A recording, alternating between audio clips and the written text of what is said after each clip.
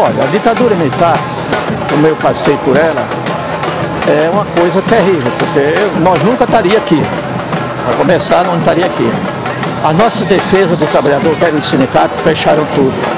As igrejas tradicionais, é, progressistas também foram perseguidas, foi morto, o pessoal morreu, montaram. Entendeu? Eu, por exemplo, fui preso, meu sindicato foi todo, houve intervenção geral, foi preso também. Então a diferença da ditadura para a democracia é muito grande. Eu já li a Constituição inteira esses dias e vi o que os autores do impeachment disseram.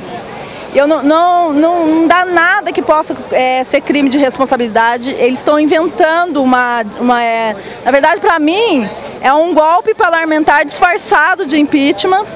Hoje os golpistas estão querendo arrancar a Dilma no poder, porque com a Dilma lá, o meu direito está garantido. Evangélicos pelo Estado de Direito, não vai ter golpe, não vai ter flexibilização das leis trabalhistas, não vai ter golpe.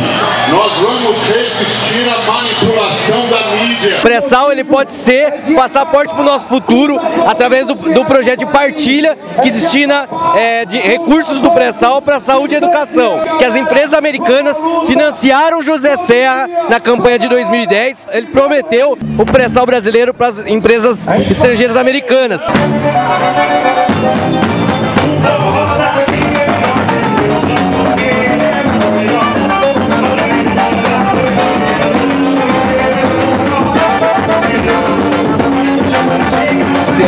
Politização da justiça que também não deveria acontecer. E isso coloca em risco a democracia, coloca em risco nossos direitos, coloca em risco a liberdade e a tolerância. De repente você vender pedindo ditadura, não sabe o que é isso, meu Deus. Então, viva a democracia e vamos para frente e para o alto, né?